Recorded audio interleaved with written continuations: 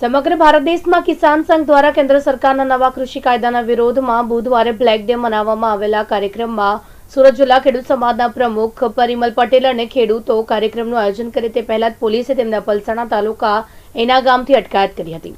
કેન્દ્ર સરકારના ત્રણ કારા કાયદાના વિરોધમાં દેશભરમાં ખેડૂતો દ્વારા બ્લેક ડે ઉજવવાનો કાર્યક્રમ યોજવામાં આવ્યો હતો.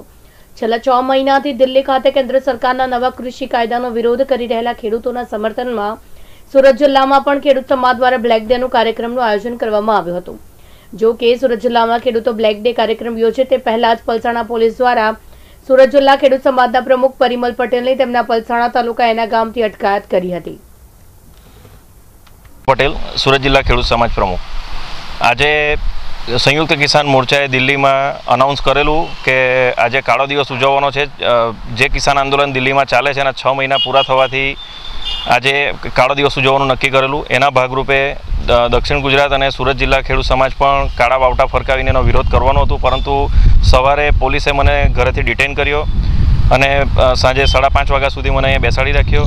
તો મારું સરકારને કહેવું છે કે આ ઉંદર બિલાડીની રમત બંધ કરીને જે વાસ્તવિકતા છે એનું ધ્યાન દોરવું જોઈએ. અને જો સંવાદ કરવો હોય તો હું સંવાદ માટે તૈયાર છું. વારે ઘડીએ મને ડિટેન કરીને પોલીસ સ્ટેશનમાં બેસાડી રાખવા કરતાં એક સંવાદ થઈ જાય ને સંવાદમાં જે દૂધનું દૂધ દૂધનું દૂધ અને પાણીનું પાણી થઈ જાય.